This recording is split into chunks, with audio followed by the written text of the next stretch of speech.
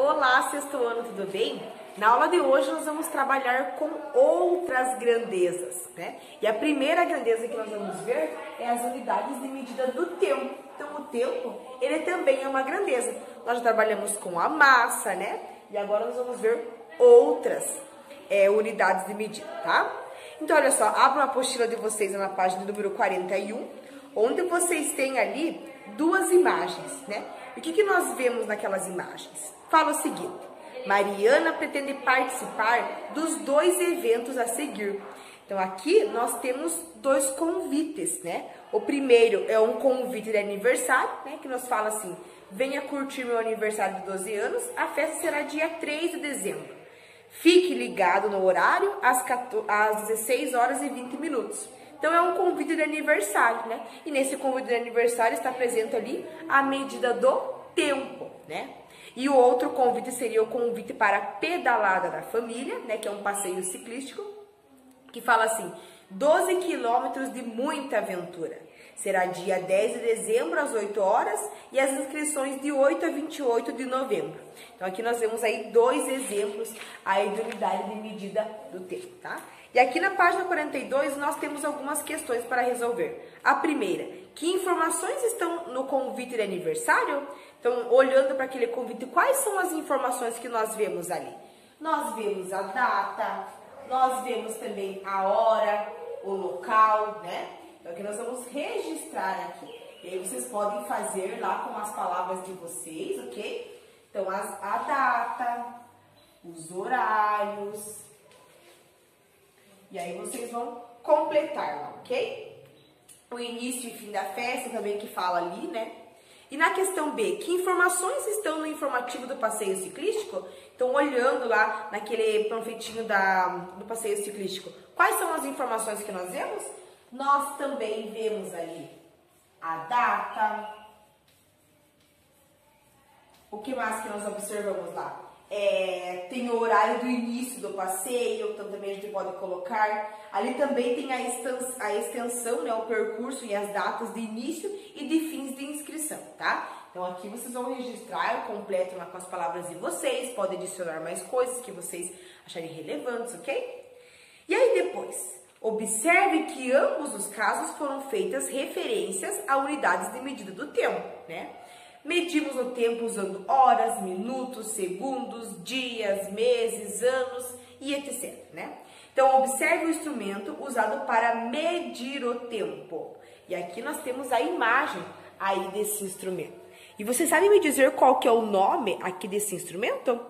Isso é um cronômetro. Hoje em dia nós temos até no telefone, né? no telefone celular também tem o cronômetro, né? Que a gente pode estar usando. Então ali nós vamos responder aí qual que é o nome desse instrumento.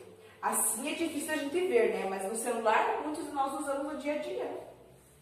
Então ele é um cronômetro.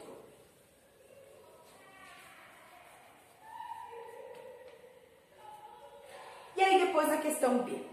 O mostrador maior está dividido em quantas partes iguais? Então, olha só, qual que é o mostrador é, maior, né? Seria aqui, o maior número. Então, ele está dividido em quantas partes iguais? Ele está dividido em 60, né? Uma volta completa. Então, seria... vamos registrar aqui esse valor, né? Ali ele está dividido aí em 60 partes iguais, né?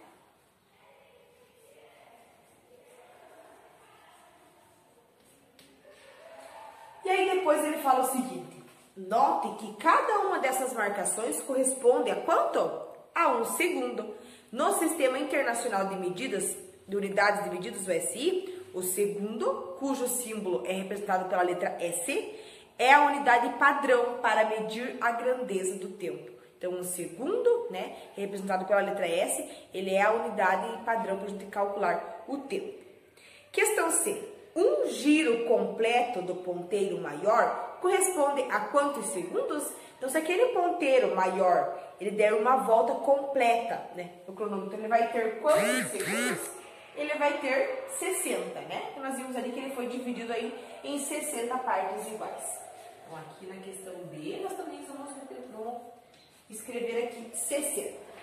E aí, depois ele fala o seguinte, Quando o ponteiro do cronômetro percorre uma volta, passaram-se 60 segundos, que correspondem a um minuto. Lembre-se que 60 minutos correspondem a uma hora. Então, isso nós sabemos, né? É, 60 minutos corresponde a uma hora, e aqui a gente viu que ele também, né? Dando ali uma hora também vai corresponder. E 60 segundos também corresponde aí a um minuto. É, por isso dizemos que essas unidades de medida de tempo, elas compõem um sistema sexagenal, né? Pois agrupam de 60 em 60. Para medirmos o tempo, geralmente usamos um relógio, que pode ser analógico, com ponteiros, né? Ou também pode ser o digital. O relógio a seguir, ele é analógico. Nele há três ponteiros. O dos segundos, né? Que seria aqui, ó, o dos segundos, que seria esse maior. Aí também nós temos o ponteiro dos minutos e o das horas. O da hora sempre ele é o menor. Então, da hora é o menor. O maior aqui é o dos segundos e o outro ali seria o dos minutos. E aí ele fala, suponha que estamos no período da manhã. É, qual horário está indicado nesse relógio? Então, olha só, vamos observar aqui com bastante atenção. Então, olha só, o ponteiro dos minutos, que é o menor, está no 10. E a, é, das horas. E dos minutos, ele está aonde? Ele está aqui no número 2. Então, é 5 minutos 10. Então, quer dizer que é 10 horas, 10 minutos, quantos segundos? Então, ó, o ponteiro dos segundos, ele está passando aqui do 12, né? Está ali no 1. Então, quer dizer que é 10 horas, 10 minutos e 1 segundo nós vamos completar. Essa daqui é a questão. Então, são 10 horas,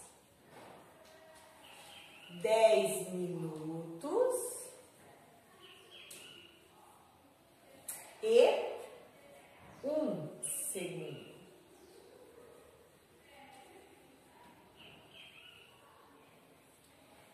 E aí, depois da questão B, ele fala assim: quanto tempo falta para esse relógio marcar 11 horas?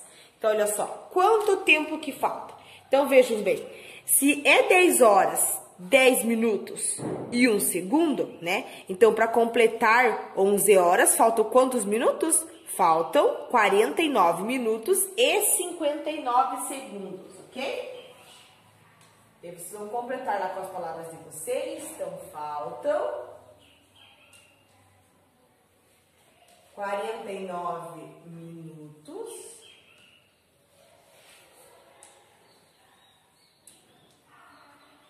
E 49 aí segundos.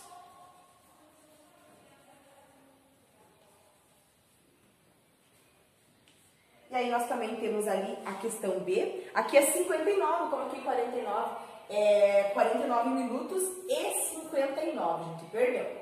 Aí na questão C ele fala assim, ó. Em um dia, ou seja, né, um dia tem 24 horas, quantas voltas o ponteiro das horas percorre e o ponteiro dos minutos?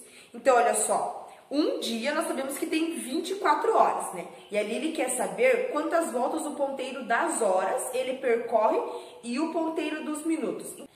Então, olha só, das zero horas, né, até o meio-dia, né? Então, ele vai dar uma volta.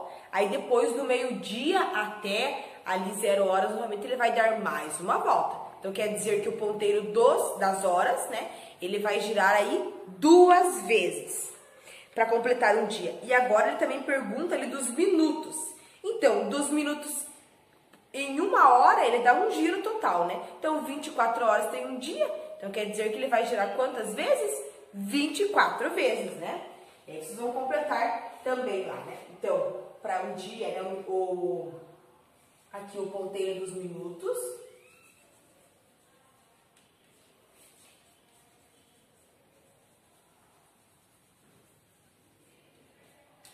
Aí ele, né, ele dá duas voltas aí completas, né? Então ele percorre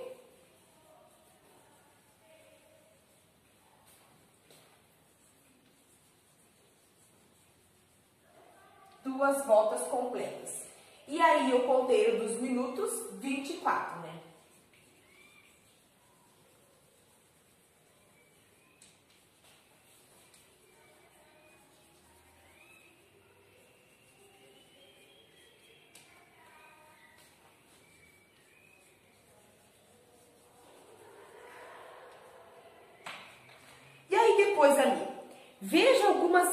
Relações entre as unidades de medida de tempo. Então, olha só, uma semana é igual a quantos dias? Sete dias. Um ano é igual a 365 ou também 366 dias. Uma década é igual a quantos anos? 10 anos. Um século é igual a quantos anos? 100 anos. E um milênio é igual a quantos anos? Mil anos, né? E agora aqui na página número 43, nós vamos seguir as atividades, ok? Então, olha só, ali na questão do número 1, ele nos fala o seguinte, complete as lacunas. Então, ali nós temos alguns exercícios em que nós temos hora e é para escrever em minutos. Ou nós temos também em minutos que é para escrever aí em segundos e assim por diante. Então, olha só, lá na questão A, lá na questão A nós temos assim, duas horas, aí é para eu completar quantos minutos tem em duas horas. Então, em uma hora tem 60 minutos. Em duas horas tem quanto? 60 mais 60, que vai ser igual a 120. Então, em duas horas, nós temos 120 minutos. Na questão B, nós temos 3 horas e é para escrever esse valor aí em segundos, né? Então, olha só, um minuto tem quantos segundos? Um minuto tem 60 segundos. Aí eu tenho que pensar, vou pegar esse valor 60 e vou multiplicar aí por 60 para ver quanto que é uma hora e depois vou multiplicar por 3 para ver quanto são 3 horas, né? E aí qual que é o valor que nós vamos ter? 10.800. Então, em 3 horas, há 10.800 segundos. Na questão C, um dia em segundos. Então, a mesma coisa, né? Um dia tem 24 horas.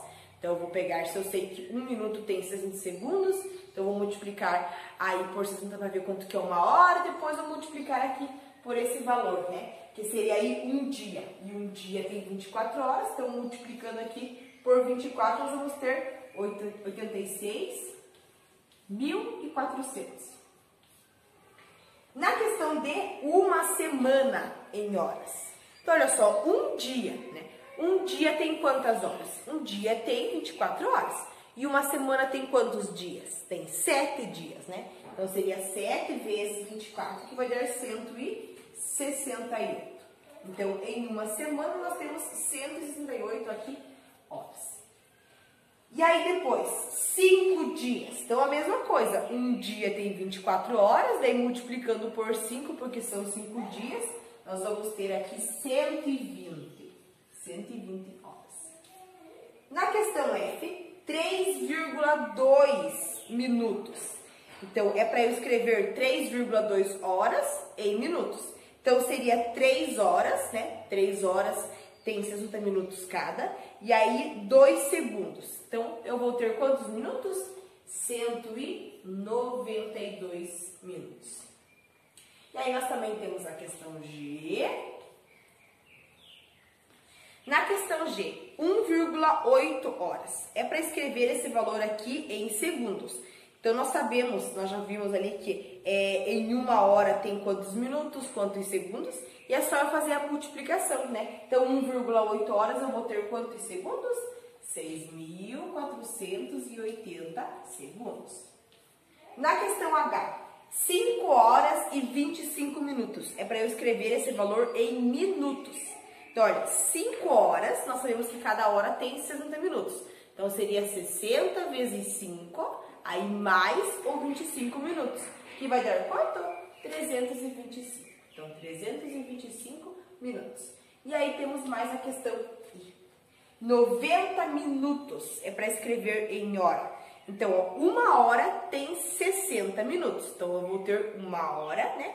E aí vai sobrar mais 30 minutos, que corresponde a quanto? 5, né? Então, seria ali, seria meia hora, né? 30 seria 5, meia hora. Então, 90 minutos em horas nós vamos ter 1,5, ou seja, aí uma hora e meia, né? E agora ali na questão do número 2, fala o seguinte. Lucas fez uma viagem com seus pais com duração total de 8.245 segundos. Escreva o tempo de viagem em horas, minutos e segundos. Então, ele quer saber em horas, em minutos e segundos. Então, como que eu faço, né? Como nós sabemos que a nossa base é 60, né? então nós vamos pegar ali aquele valor total, que seria 8.245. E aí nós vamos fazer aqui a divisão aí por 60, né? Então, eu vou pegar o 82 para dividir por 60, que vai dar 1. Então, 1 vezes 60 é 60. Vai passar para cá, menos 60. 0 até chegar no 2 é 2. E 6 até chegar no 8 vai ser igual a 2 também. Então, 22, sobrou 22. Vou baixar aqui o 4. E agora, 244 divididos por 60. Então, aqui vai dar 3, né? 3 vezes 0 é 0. 3 vezes 6 é 18. 180. E aí, aqui, ó. É 0 para 4 vai sobrar 4. 8 para 2, que vai ser 12 no caso aqui, né? 8 para 12 vai sobrar 4 também. E aí, 1 para 1 vai sobrar nada. 44. Vou ter que baixar aqui o meu 5. E aí, 445 dividido por 5 por 60 vai dar igual a 7. E aí, fazendo aqui a multiplicação, vai me sobrar 25. Então, eu vou ter de resto aí 25, tá? Só que ali ele quer saber em horas, minutos e segundos. Então, agora eu pego esse 137 e divido novamente por 60. Né? Então, olha só. 137 divididos por 60 vai dar por 2, porque 2 vezes 60 é igual a 120. E aí, 120 até chegar em 137, então 0 para 7 é 7, 2 até chegar no 3 falta 1, e 1 para 1, nada. Sobra 17 de resto, né? Então, quer dizer que quanto que é? Então, nós temos 2 horas de viagem, 17 minutos e quantos segundos? O resto que ficou ali, que eram 25, que não coube, né? que daí 7 vezes 60, aí fazendo ali a subtração nós íamos ter 25. Então quer dizer que o tempo dessa viagem foi 2 horas, 17 minutos e ali 25 segundos.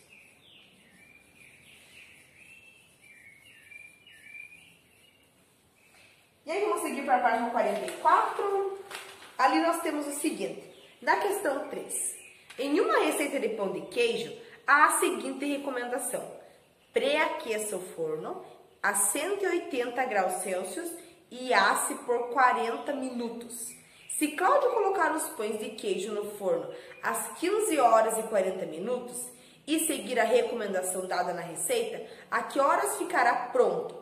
Então, olha só, ali, né, ele fala, ele indica para que pré-aqueça o fogo primeiro, então ligo lá antes a 180 graus Celsius e aí depois eu asse com 40 minutos. Esse é o tempo que eu vou levar para assar.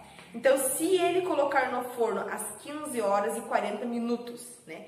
E aí depois ele seguir essa recomendação, que horas que ele vai tirar o pão de queijo do forno? Então é só eu somar, né? 40, é, 15 horas e 40 minutos mais os 40 minutos. Então, olha só, 15 horas e 40 minutos até chegar é, em em 16 horas, que são 4 horas, vai sobrar 20, né? 20. Aí mais 20, porque é o 40, vai ser que horas? 4 e 20 da tarde, né? Então seriam aí 16 e 20. Então essa daqui, ali ela é questão de número 3. Então ele vai tirar do forno ou vai ficar pronto às 16 horas e 20 minutos. E aí vocês completam com as palavras de vocês, ok? Na questão 4, na questão 4, uma música tem duração de 4 minutos e 17 segundos. Isso corresponde a quantos segundos? Então, ó, são 4 minutos e 17 segundos. Então, nós, é só nós pegar aqui esse valor, né? Olha só, são 4 minutos e nós sabemos que 4 minutos tem, que cada minuto tem 60 segundos. Então, seria 4 vezes 60 e aí mais o 17 ali que ele fala mais 17 segundos. E daí 4 vezes 60 é igual a 240. Então, 240 aqui mais 17 vai ser igual a quanto? Vai ser 257. Então, seria 257 aí segundos. Na questão do número 5, ela nos fala o seguinte, para observar aquele horário indicado no relógio digital, né? Então, olha só, vamos observar aqui, ó. É, qual que é o horário que está marcando nesse relógio? São 10 horas e 20 minutos, né? E ali na questão A ele pergunta, o horário indicado ele corresponde ao período da manhã ou da noite? Então, olha só, aqui não é possível saber, né? Por exemplo, o nosso relógio de ponteiro, né, analógico, ele marca apenas 12 horas. E nos relógios digitais, depende, tem alguns que vão marcar 24 horas e alguns que vão marcar apenas 12. Por um exemplo, é, se, se for marcar 16 horas, que são 4 horas da tarde, né? Então, alguns relógios digitais, aqueles que têm 24 horas, eles vão marcar 16 horas. E aqueles que têm apenas 12 horas, que marcam apenas 12 horas, vai marcar aí 4 horas. Então, como tem esses dois modelos de relógio, e aqui no exercício ele não, não fala para nós qual modelo que é, então quer dizer que eu tenho que responder aí que não é possível, né? Não tem como eu saber se é de manhã, se é 10 horas e 20 da manhã, ou se é aí da noite, ok?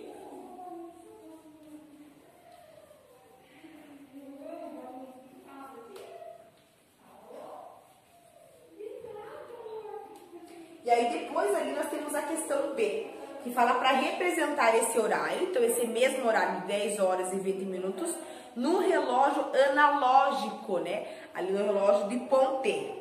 Então, olha só, aqui eu vou deixar para vocês fazer sozinhos.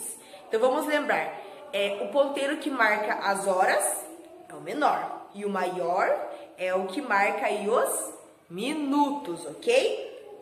E aí depois na questão 6, Mateus comprou uma passagem aérea para, aérea para viajar para Natal é, e para Salvador também, na Bahia. Veja no quadro o horário de saída e de chegada dos voos. Então, nós temos ali o quadro que nos mostra que lá em Natal é 10 horas e 55 minutos, uma conexão. Salvador, 18 horas e 3 minutos. E aí na questão A, qual que é o tempo total previsto para essa viagem? Então, olha só, fazendo ali aquela soma das duas horas, eu vou ter quanto? Eu vou ter sete horas. Essa daqui é a questão A. Então, eu vou ter sete horas e quantos minutos? E oito minutos. E na questão B, sabe-se que o avião fará uma conexão em Recife e o tempo espera é, o tempo de espera será de 4 horas e 55 minutos. Desconsiderando esse tempo parado, qual que é o tempo previsto para a viagem? Então, olha só, vejam bem, essa conexão ali, ela vai durar é, 4 horas e 55 minutos. Então, desconsiderando esse tempo parado, né, a tempo de espera, será de quanto? Será de 2 horas e 13 minutos, né?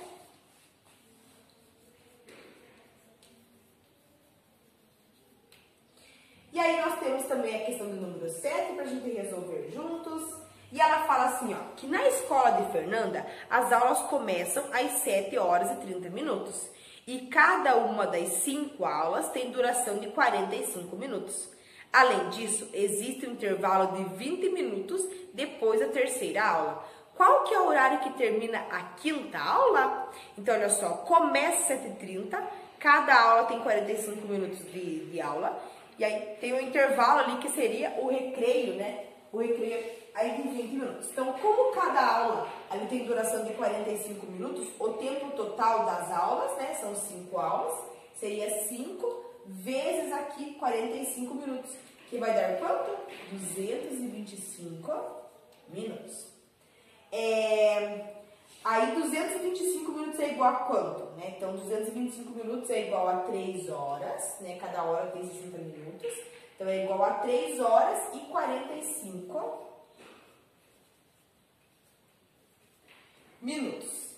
E agora, adicionando mais aqueles 20 minutos de intervalo, então nós temos quanto? Adicionando aqui, ó, 3 e 45 mais 20, vai dar 4 e 5. Então quer dizer que o valor ali total seria mais, seria 4 horas e 5 minutos. E agora, portanto, a quinta aula vai terminar que horas? Então você começa aqui, ó, começa às 7 horas e 30 minutos, né? E aí nós precisamos aí adicionar esse valor que a gente encontrou, que seria ali de 4 horas e 5 minutos que nós temos ali. E aí esse valor vai dar quanto? 11 horas e 35 minutos. Então quer dizer que a aula acaba ali às 11 horas da manhã e 35 minutos, ok?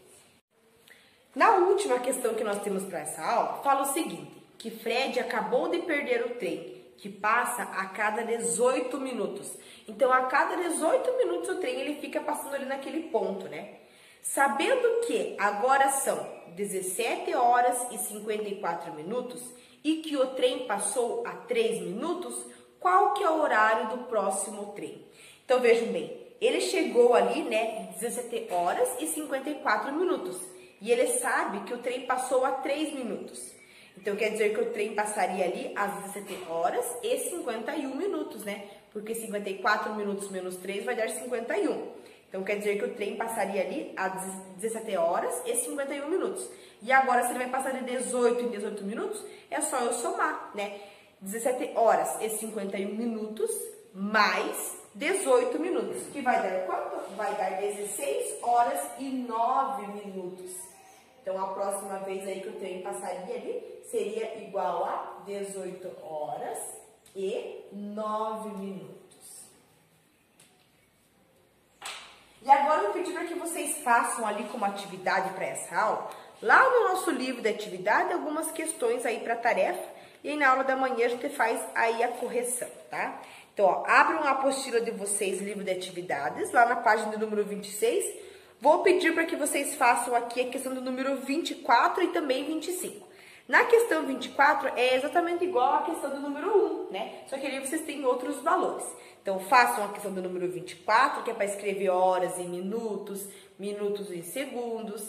E também a questão do número 2, ali que é um probleminha, tá? Mas bem parecido com as que a tia resolveu com vocês aqui em aula, ok? E na nossa próxima aula a gente faz a correção. Tenha um ótimo dia de estudos.